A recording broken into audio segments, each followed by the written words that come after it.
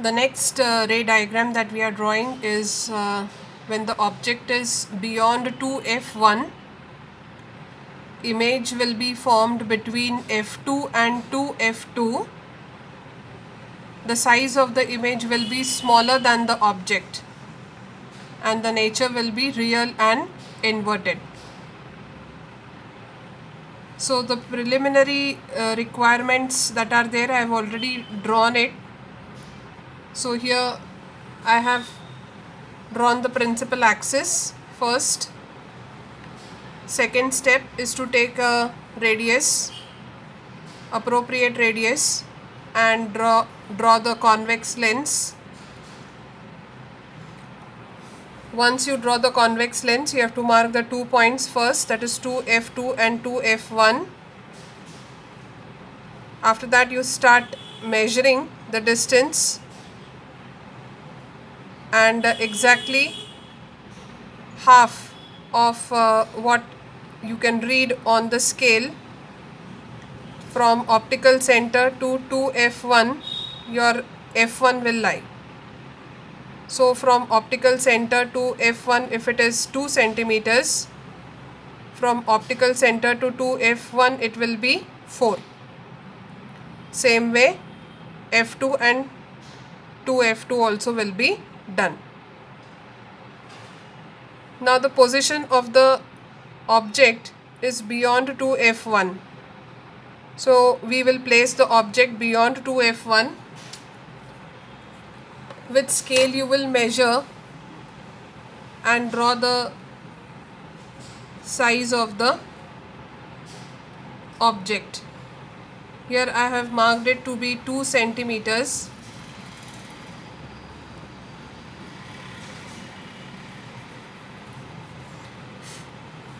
so I have taken an object of 2 centimeters. Here I do not have a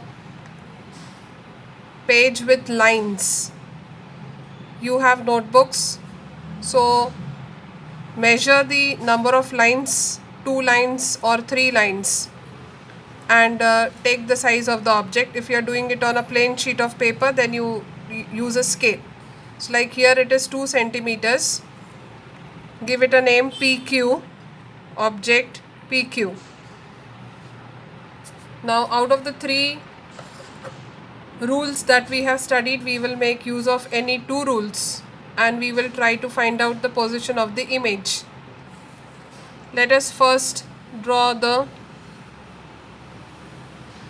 incident ray. I am using the first rule. Incident ray is parallel to the principal axis and if it is parallel to the principal axis it will pass through the focus. So I am making it pass through F2 this is the refracted ray. I will use the third rule that is the one which is passing through optical center second one.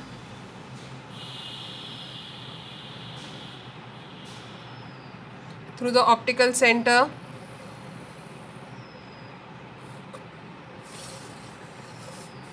as we had said that the image will lie between f2 and 2f2 now this ray was parallel to principal axis. It passed through the focus.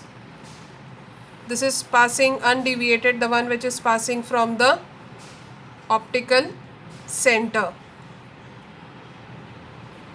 Now can you see the intersection of these two rays here at this point this is the intersection point of the two rays. The point where the intersection of the two refracted rays is taking place is the place where the image is going to be formed.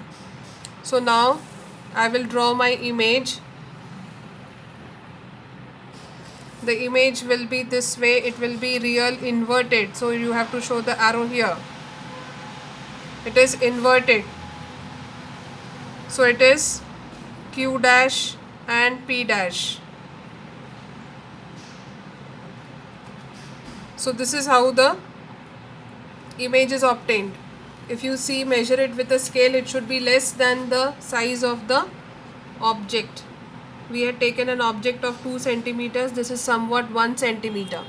So I have got a smaller than object image over here it is inverted so we this is PQ so it is inverted so we will write down Q dash.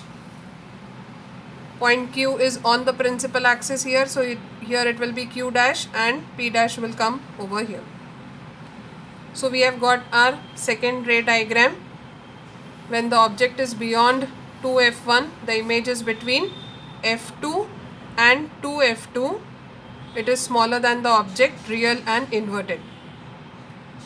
Just follow all the rules that I have told you for making points 2f1 f1 f2 and 2f2 you will definitely get your images correctly. Let us go on to the next ray diagram